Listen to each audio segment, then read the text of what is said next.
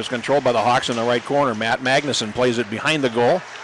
And now here's a steal in tight, centering pass, shot. Oh, and a point blank stop, and a good opportunity there for Zach Howard. And we're going to get a penalty on St.